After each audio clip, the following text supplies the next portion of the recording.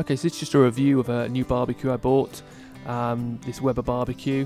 Really impressed with it generally. Um, it's mostly made out of plastic, which is really corrosion proof, and the, the lid's made out of aluminium, which is good, um, with a cast iron uh, grill, which, which won't corrode, and stainless steel burners, which is really great. Um, I also went for the, the 220 model, which has the thermometer on, which is really useful. Um, one thing I was worried about was whether I'd have um, variable heat around there, so if something's cooked more than others, because it doesn't have a um, a warming rack, but actually there are different hot spots around the grill, so that's quite useful. So you can put some things to the side once they're cooked.